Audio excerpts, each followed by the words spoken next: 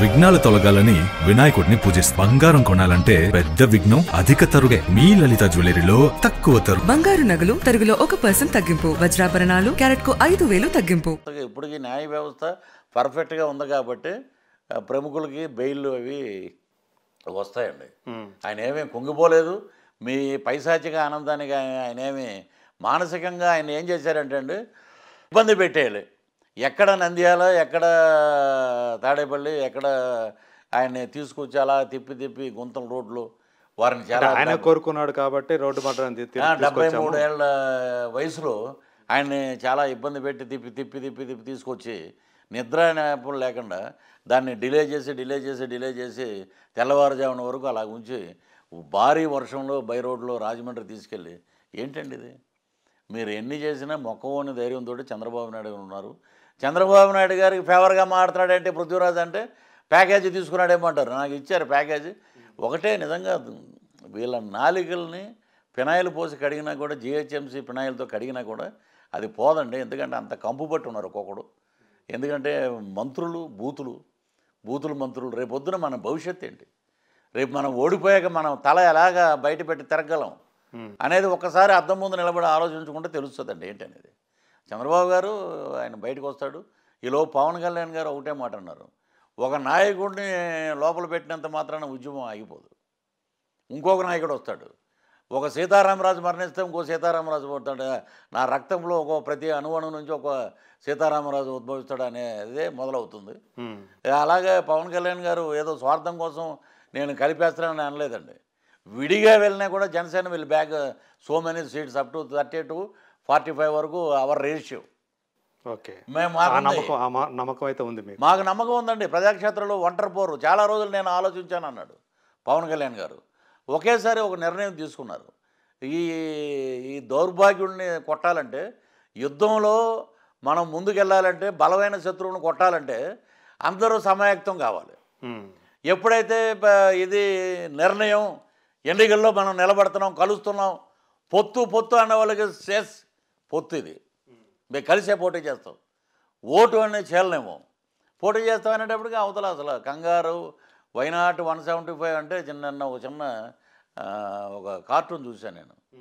One seventy five పక్కన five కొట్టేశాడు. Cartoon అలా వెళ్తా ఎలా అన్నాడు. పదిహేడు మిగిలినాయి అది మీ పరిస్థితి. రేపు. వైసీపీ పరిస్థితి పదిహేడు అంటారు. కాకపోతే యాక్చువల్గా ఈ పొత్తు ఈయన ప్రకటించక ముందే చాలా కాలం నుంచే మీరు అన్నట్టు ప్యాకేజీ స్టార్ అని దత్తపుత్రుడు అని చెప్పేసి ఈయన్ని టార్గెట్ చేసి వైసీపీ వాళ్ళు నాయకులు అందరూ కూడా మంత్రులు కానివ్వండి ఎమ్మెల్యేలు కానివ్వండి అందరూ కూడా మాట్లాడుతూ ఉన్నారు కదా. దాన్ని కరెక్ట్గా సమర్థవంతంగా మీరు తిప్పికొట్టగలిగారా?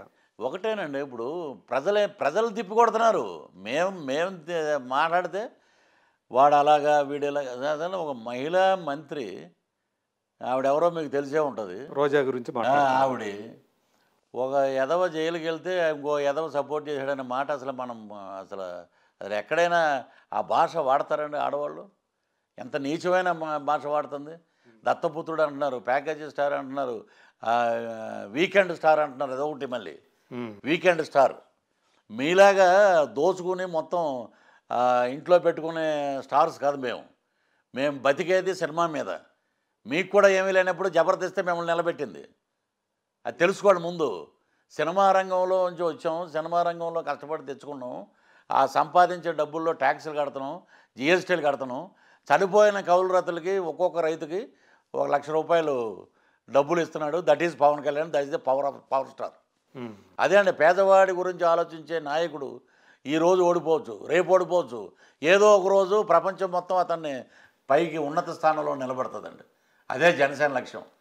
పాతిక కేజీల బియ్యం కోసం కాదు మా పోరాటం. పాతికేళ్ళ మన బిడ్డల భవిష్యత్తు కోసం పోరాటం. This is Janasena.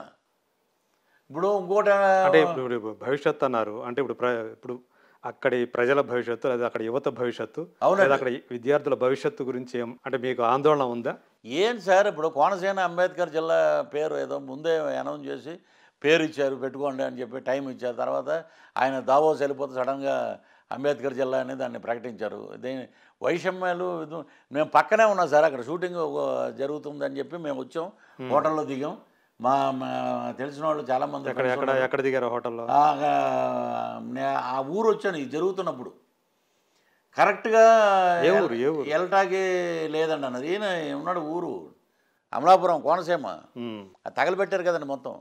అదే వంద గజాల దూరంలో ఫైర్ ఇంజన్ ఉంది. ఫైర్ స్టేషన్ ఇది ఇల్లు. Fire station. పోలీసు వాళ్ళ గన్స్ కూడా తగలాడిపోతున్నాయి. ఈ అంటించేశారు తగలాడుతుంది అన్నప్పుడు అది రావాలి కదండి ఇక్కడికి. ఎంత దూరం చిటికేస్తే గట్టిగా ఒక అరుపు. నాలాంటి ముందు పెద్దగా ఉన్నాడు గట్టిగా అరిస్తే ఫైర్ రావాలి. ఫైర్ మరి వాళ్ళెందుకు రాలేదండి? నీళ్ళు లేవా? ఇక్కడి నుంచి అక్కడికి ఇద్దరు ముగ్గురు పరిగెట్టి ఎవస పాపం? మనకు తెలిసిన ఒక నలుగురు ఐదుగురు పిల్లలు యుఎస్ వెళ్ళాలన్నమాట. వాడేదో సూపర్ మార్కెట్కి వెళ్ళి రేపొద్దున మనం బయలుదేరి వెళ్తున్నాం ఏదో కావాల్సిన వస్తువులు కొనుక్కుంటే వాళ్ళని అరెస్ట్ చేశారండి. చాలామంది అలాగే. పల్లం రాజు అని ఒక తెలుగుదేశానికి హార్డ్ కోర్ ఫ్యాన్ అతను నాయకుడు. వాళ్ళందరిని అరెస్ట్ చేసి వంద మంది జైల్లో ఉంటే ఆయనే ఒక్కొక్కరికి రెండు లక్షల లక్షల రూపాయలు అలా కట్టి బెయిల్ మీద బయటికి తీసుకొచ్చారు అందరు.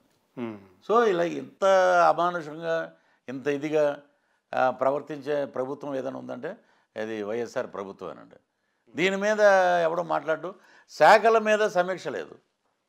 శాఖల్లో మేము ఎంత డెవలప్ చేసాం దాని మీద లేదు.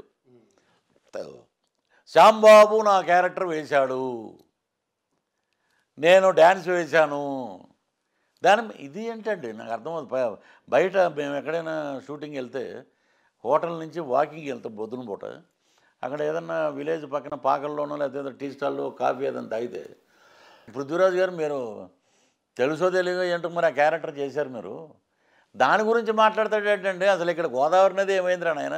ఈ వరదలు వచ్చినప్పుడు దీన్ని ఎలా కాపాడాలి? మిగతా ప్రాజెక్టుల సమస్యలు ఏంటి? పోలవరం ఎప్పుడు పూర్తవుద్ది? పోలవరం త్వరలో పూర్తవుతుంది. మీకు అందరికీ బ్రహ్మాండమైన భవిష్యత్తు ఉంది. ఇలాంటి మాటలు చెప్తే ఇక్కడ వరకు ప్రగతి వచ్చింది. కేంద్ర గవర్నమెంట్ మాకు ఇన్ని నిధులు ఇవ్వలేదు. కాబట్టి ఈ నిధులు రాగానే దీన్ని చంద్రబాబు నాయుడు గారు ఇదివరకు అవినీతి చేశారు. మేము దాన్ని నీతి చేసాం మేము రివర్స్ టెండరింగ్ విధానం పెట్టాం. మేము బ్రహ్మాండం చేసాం జగన్మోహన్ రెడ్డి దేవుడు ఈ రాష్ట్రానికి బ్రహ్మాండం అని ఇలాంటివి చెప్పండి. అంటే చేసిన అభివృద్ధి పనులు చెప్పకుండా అభివృద్ధి పనులు చెప్పకండి సినిమాల గురించి మాట్లాడుతున్నారు. టూరిజంలో నువ్వేం చేసావు టూరిజం ఎప్పుడు నువ్వు మనకి ఇద్దరే ఇద్దరు వ్యక్తులండి. తిరుమలలో ఎక్కువ వెళ్ళేది. గవర్నర్ నరసింహం గారు ఎక్కువ తిరుమల వెళ్ళేవాడు. అప్పట్లో ఉమ్మడి రాష్ట్రం ఉన్నప్పుడు నెక్స్ట్ ఈవిడ కుప్పం కదా పక్కనే డమ్మన పైకి వెళ్ళటం. కొండ మీద రాజకీయాలు ఏంటండి? కొండ మీద రాజకీయాలు మాట్లాడటం ఏంటి? ఎదవలు అంటాం దుర్మార్గులు అంటాం ప్యాకేజ్ స్టార్లు అంటాం దరిద్రుడు అంటాం దౌర్భాగ్యుడు అంటాం. వీటికి అన్నిటికీ కడిగే రోజు పుణ్యక్షేత్రానికి వెళ్ళినా కూడా రాజకీయ అసలు మా వదలలేదు అభివృద్ధి ఏంటి? ఈరోజు ఇరవై ఏడవ స్థానంలో ఉంది ఆంధ్రప్రదేశ్ టూరిజం. భారతదేశంలో. ఇంకా మీరు అభివృద్ధి ఏది? అయ్యా ఇక్కడ మేము ఇలాగ తిరుపతిలో ఇలాగ చంద్రగిరి ఉంది. దీన్ని ఇలా డెవలప్ చేసాం తిరుమల రావడానికి మేము ఇలాగ రోప్ వే ఏదో వేస్తాం అనుకుంటున్నాం. లేకపోతే మేము టూరిజానికి కోసం బ్రహ్మాండంగా ఋషికొండని సగం గురిగేసాం ఎందుకంటే అంటే టూరిజం టూరిజానికి సంబంధించి ఈ నాలుగున్నర సంవత్సరాలు జరిగిన అభివృద్ధులు ఏమంటారు చెప్ప? ఏముందండి ఏమీ లేదు. మనం డ్రెస్సులు వేసుకోవటం తిరగటం సరిపోయింది అయిపోయింది. ఏం చేశారు మీరు? ఒక కాకినాడ హార్బర్ ఉంది. ఇటేపు ఒక టూరిజం ప్లేస్ ఏముంది?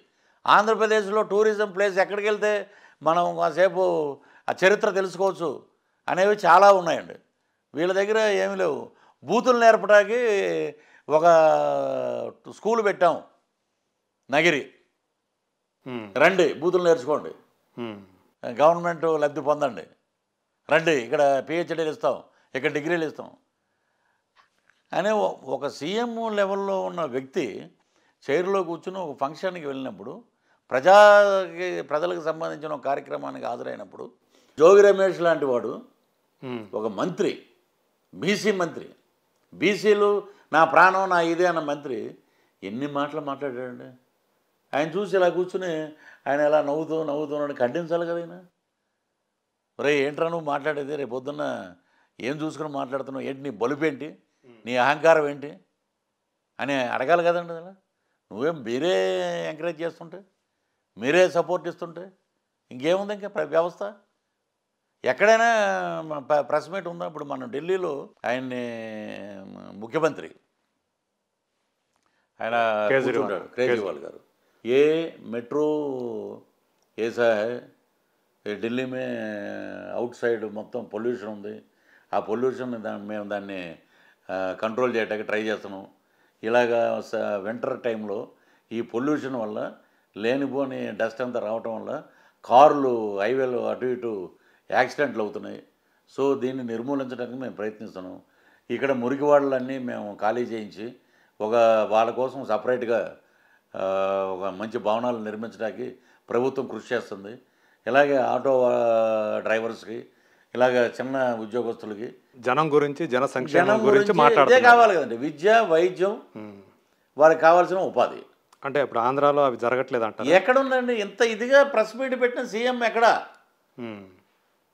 ఆయన మీకు కొడితే ఏదంటే ఆలోచించండి. ఆడొక ఎదవా ఈడొక ఎదవా అని మాట్లాడటం తప్ప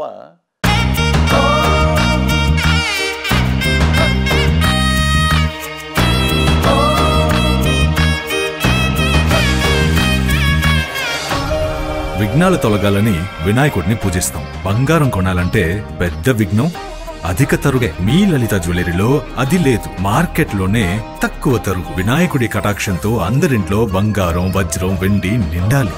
బంగారు నగలు తరుగులో ఒక పర్సెంట్ తగ్గింపు వజ్రాభరణాలు క్యారెట్కు ఐదు వేలు తగ్గింపు.